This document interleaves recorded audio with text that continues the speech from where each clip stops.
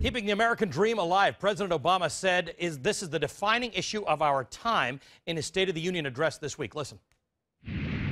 We can either settle for a country where a shrinking number of people do really well, while a growing number of Americans barely get by.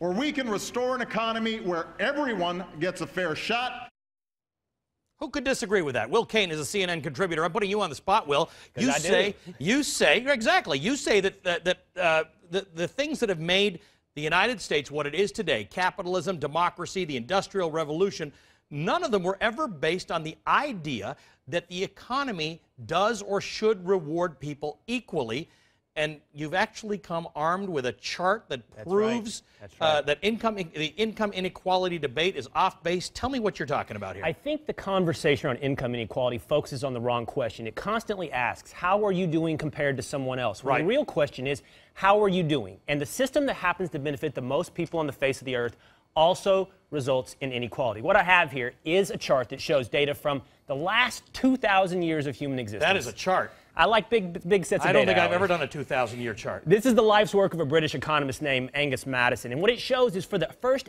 1,800 years right. of human existence since 1 AD, we made not much north of $500 a year on average. That's uh -huh. per capita GDP adjusted for inflation, yada, yada, yada. But something happened 200 years ago. Something. Call it the Industrial Revolution, capitalism, democracy, whatever it may be. It wasn't a focus of economic equality. Mm-hmm. It just so happens that 500 years ago, we were all equally poor. Today, we are unequally rich.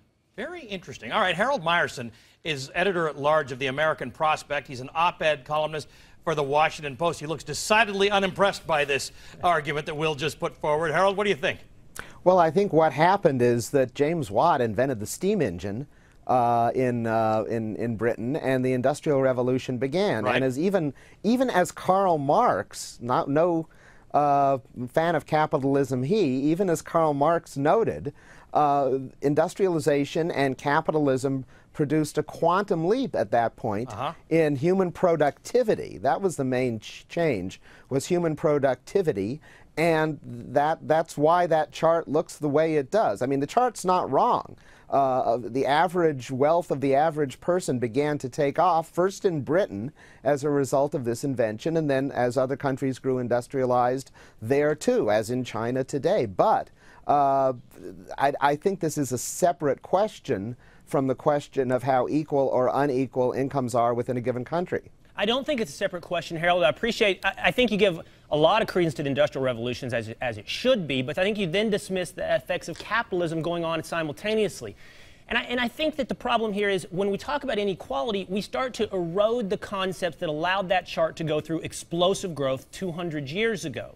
When you constantly evaluate relative wealth, you threaten absolute wealth. The fact is, we have all gotten vastly more wealthy over the last 200 years with a total ignorance towards equality, economic equality. Uh, let me ask you this then, Harold. You recently wrote that as the American middle class has thinned out, the idea of America as a land of opportunity uh, has become a farce. Now, what happened to the concept that I, I think is so important here this concept of social mobility or socioeconomic mobility, the idea which you could not do in 1 AD and you could not do in 16 or 1700 AD, the idea that you could be born into one uh, socioeconomic place in life and die in another one. Do, do we still have that in America?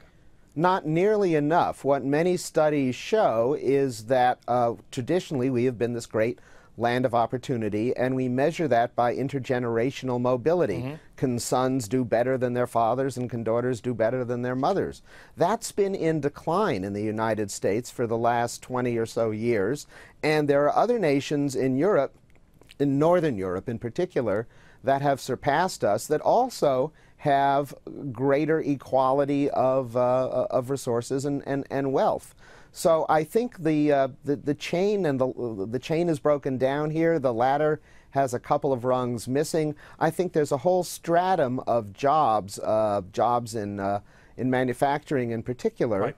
Uh, which have disappeared. And that actually, that's one reason why presidential candidates of both parties, not just Barack Obama, but also Rick Santorum and even, even Mitt Romney, are talking about things to help the return of American manufacturing right. because that's one of the things that's and, broken. And you in both country. draw the same conclusion that if it was the Industrial Revolution that got us to this place of greater productivity and or wealth, uh, the fact is that that thing that made America and built the American middle class does not exist to the same degree as it did uh, some time ago.